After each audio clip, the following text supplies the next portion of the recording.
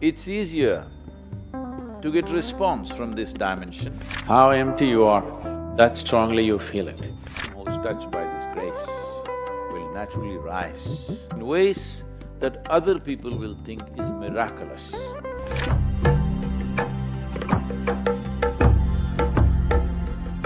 For a logical mind,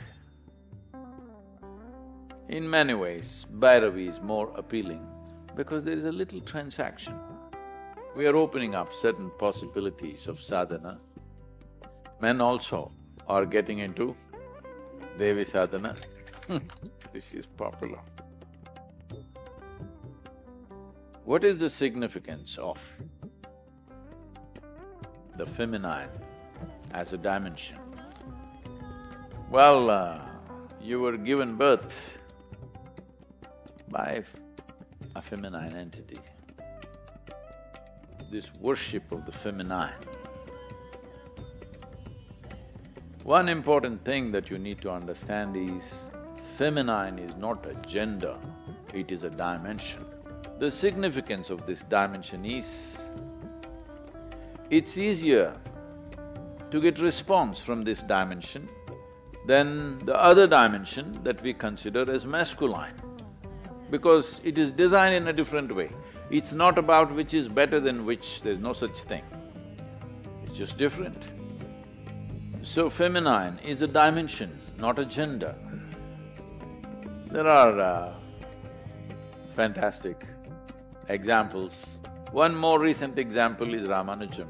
All of you have heard of him, a mathematician. There was also a movie about him a few years ago, of how Ramanujam poured out mathematics very complex mathematical formulae. To a point where in early twentieth century when there was no concept of black holes, he kind of created mathematics describing black holes. When people asked him, where is this coming from? Simply notebooks and notebooks of math he just poured out. Sitting on his deathbed, he died very early unfortunately. He said, my Devi, my goddess, leads mathematics. One who attains to the grace of the Devi, whatever you're doing in your life, you may be a business person, you may be a professional in something, you may be an artist, a musician, a yogi, whatever you are, if you want to pitch up your activity to another dimension of doing things, you need Devi's grace. One who's touched by this grace will naturally rise in ways that other people will think is miraculous. This has happened to many people, I must tell you this. There have been significant men in the world in the last two centuries who have risen to great heights in whatever they were doing because in some way they were in feminine worship. Because articulation and when I say articulation, not just verbal articulation, articulation essentially means you're able to find expression. If you want to find expression in the world, you need Devi's grace. Whether you do it by chanting a mantra, whether you do it by going to a temple, or whether you do it by acknowledging that dimension within yourself, or whether you do it by looking up to something that is feminine, or simply by being in nature. It doesn't matter how you do it, but that dimension that we refer to as feminine, when it yields to you, your articulation or your expression in the world will find tremendous enhancement.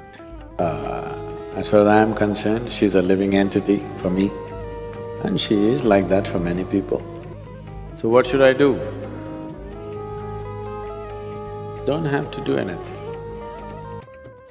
If there is not much of you, you will feel the presence of what is not you. If there is too much of you, you won't feel anything, anywhere, not just here, anywhere. The problem with most people is they're already imagining something. Don't imagine anything. Imagination is not good for experience. You're imagining something. Imagination will feel pleasant for some time. If it goes out of control, you'll go nuts. Experience is different. Experience transforms life. Imagination, you can go to heaven in two minutes and come back and you're in the same place. Real life experience, physically manifest experience, it's very much possible. So devotion, not because you're singing for her, you're loving her, she'll appear. She's always there. It is just that with devotion, you're trying to wear yourself down. Who you are is becoming less and less as your devotion overflows. She doesn't care whether you're devoted or not. So the question is not your devotion, your devotion has nothing to do with her, your devotion has something to do with you. If you're devout, there's not much of you left. If you're absolutely in devotion, nothing of you will be left. If nothing of you is left, she will be strong, as real as the morning sunlight. If you don't get the morning sunlight, if you're the kind oh, who misses it, do you come for sadhana every day? She is as clear as that. Only thing is for you to feel it, this must be empty. How empty you are, that strongly you feel it. So your devotion is not about Devi, your devotion is about dissolving yourself.